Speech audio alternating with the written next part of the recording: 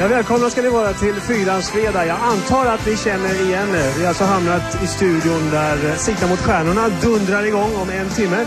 Första programmet för säsongen och programledaren Lasse Holm har vaknat ur sitt ide.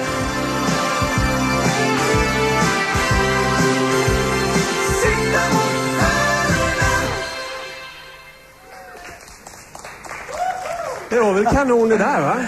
Ja, det var inte så dumt. Där vi sitter. Eh, det kommer att sitta ikväll. Ja. Eh, kommer vi att känna igen programmet när vi tittar på det nu om en timme? Det kommer vi absolut att göra och vi kommer att märka en eh, väsentlig skillnad. Vi har en ännu pampigare scen som ni ser. Vi har nya fräscha dansare All right.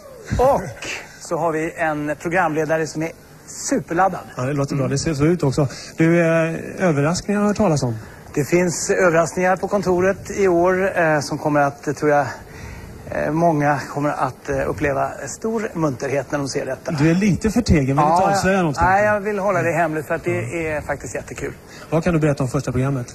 Första programmet har vi bland annat E-Type, vi har eh, Cardigans och så har vi legenderna från 70-talet, mastodonternas Supertramp. Så det här blir ett kanonprogram. Är det dina gamla favoriter? Ja, bland annat. Fortfarande kanske? Ja, alltid. Vad säger du om Disney då? Disney, ja Disney står ju också för mycket musik. Vi hade ju som minns eh, Lejonkungens signatur Circle of Life förra året. Elton John var med i finalen. Ja. Så att eh, Disney är, är jättekul. Jag brukar läsa Kalanka så fort jag kan. Okej, Mm. vi får se om det dyker upp någon Disney i årets Sikta mot stjärnan då. Jag vet att du har mycket att göra så här en timme före programstart.